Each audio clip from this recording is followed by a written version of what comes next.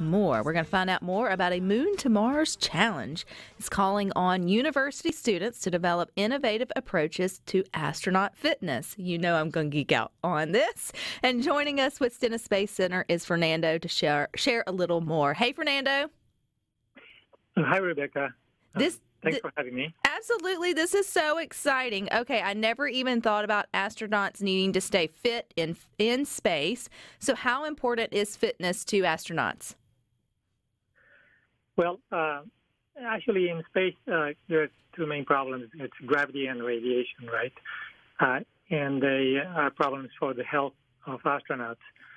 So uh, in the case of uh, you know lack or decreased gravity, uh, changes that changes how the muscle and bone density are maintained in the bodies of the astronauts. So if astronauts are going to be returning to Earth, they, they must stay fit so that upon return they may be physically enabled, so they may be able to do normal physical activity. And because of the challenges in terms of gravity, uh, in the case of space zero gravity, it's a big challenge. Uh, uh, in the case of Mars, it's uh, you know Mars has 38% of the gravity of Earth, so the muscles are uh, exercised.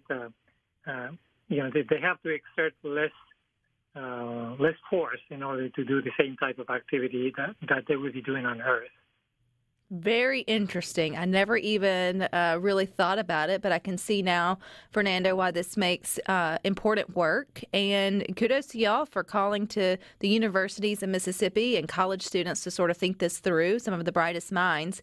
And y'all are doing this through the Intel- um, Intelligent Devices Equipment Instruct- Instruments for Enabling Crew Health and Performance on Mars project. There's got to be an acronym for that, Fernando. But tell us about this project. Yeah, uh, so this project actually encompasses, you know, more than a, a, broader idea about maintaining crew health and performance, right? And it encompasses uh, capabilities that we have developed at Stennis in the Autonomous Systems Lab uh, about making systems behave uh, in an autonomous way in terms of how they operate and how they actually take care of themselves. Uh, so for many years now, we've been working in this area, uh, and uh, it's been you know up and down, um, cyclic in terms of funding and so on, because that's what it takes to develop technologies. But since about 2012, we've had pretty steady funding from the uh, AES program, Advanced Exploration Systems program, uh, from NASA headquarters, and uh, as we have developed the technology, we have a uh, you know a software platform that we call the NASA Platform for Autonomous Systems, and we've been using this platform for implement for implementing autonomous operations on many types of systems, including our own systems at Stennis that support rocket engine testing, but also systems that are uh, space systems. Uh, we're involved in autonomous capabilities related to the Gateway, for example, which is uh, a station that's going to be uh, on moon orbit, right? Uh, as well as any other types of systems that would benefit from uh, operating autonomously. Uh, in this case, uh, this this idea actually comes from the fact that we're also working with a group at Johnson Space Center uh, that uh, is in charge or is working on what's the crew and crew health and performance, right? So they have to look after the astronauts and their health and their performance as they do activities or as they, you know, accomplish missions, uh, be it uh, future missions on, on, the surface of the moon or, or on Mars. And um, so, in, in that context, uh, you know, maintaining health uh, and performance uh, requires that uh, many areas. One of them obviously has to be the the physiology area in which uh, people who are knowledgeable about this uh, have to figure out uh, that what what needs to be done physiologically in order to monitor the health and performance of the astronauts, and in order to maintain. And part of maintaining health of astronauts uh, and performance is the the activity aspect of it, the exercises, right? And so uh, this calls for sort of a new look at how do you do this, uh, especially when uh, you are potentially at distances that are too far away, and you have to use equipment that will enable you to do this, such as exercise equipment or monitoring equipment. Uh, as well as in this particular case, we're focused on astronauts that may be doing extravehicular activity and they're in the suits, and therefore the suit systems are also involved. And so, with our work in autonomous systems, uh, we are helping develop the entire, uh, basically, uh, framework so that uh, uh, we can incorporate uh, in what would be called, you know, analysis of what's happening with the astronauts in terms of their health and performance. We can incorporate information coming from uh, the suit systems that are providing resources for the astronauts to be active, as well the exercise as the exercise systems that would be uh, used in order to maintain um, uh, physiological well-being. Well, Fernando, right. this sounds like a challenge of the lifetime for some college students or teams, or I guess even departments at different universities.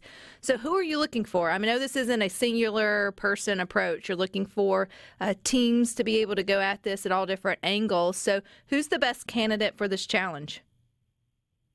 So, these challenges are directed to university teams uh, because what we challenge is we, we basically challenge can you create this for us? Can you make this possible for us?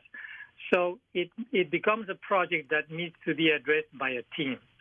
And so generally, when we, you know, provide the idea through this program, uh, which is the Moon to Mars Exploration Systems and Habitation Academic Innovation Challenge, uh, then usually the university has uh, some professors that are mentors that uh, develop with students a, proposal uh, and they compete for funds.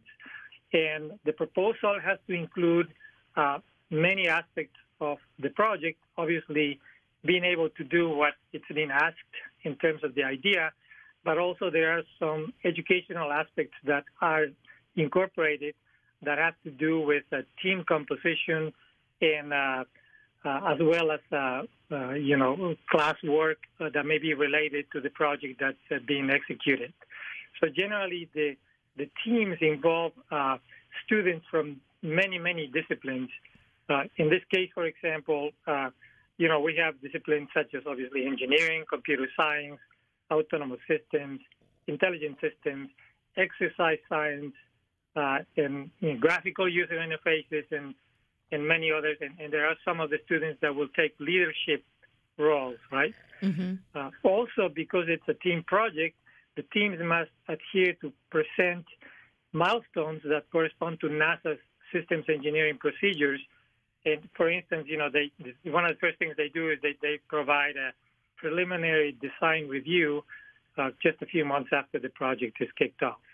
Well, I want to keep up with this and see which colleges get teams, particularly those from um, Mississippi, and then follow along and see who maybe their proposals get get funded. I think this is super cool. And Fernando, I'm a dietitian, so if you need some nutrition expertise on your team, I got you covered. I'm not in college anymore, but I can fake it and be part of, of the team. So, where can students go uh, for more information? Uh, well, there is there is a website, uh, and I think the best thing is to uh, to do a, just a, a search uh, with uh, something like Moon to Mars Exploration Systems and Habitation Academic Innovation Challenge, or more easily, I think just write X dash HAB, X dash HAB, that, and then NASA, and that probably will take them to the websites that are relevant. Absolutely, it will, and that's X H A uh, B, and Google that and yeah. NASA, and I can put it in the Good Things Facebook group as well. Fernando, I think this is super cool. I'm very impressed that this is happening here at the Stennis Space Center in Mississippi, and I look forward to to seeing what you guys what you guys find and answering those really uh, cool questions. Which I saw if if if astronauts were to do 100 push-ups a day on Earth as part of an exercise routine, how many would they need to do? On Mars to get the same benefit? I don't know, but we'll find out, won't we, Fernando? Right. Right, right. And actually, this idea has a little twist that came up because of uh, conversations with a really good friend of mine. And part of what they have to do in this project is they have to develop uh, uh, an exercise device uh, that is uh, something that is potentially used for rock climbing because rock climbing is an activity that actually uh, enables the uh, you know the, the, the, tuning, I guess, of the muscles and bones and so on that uh, enable a person to have very good control of their body, right?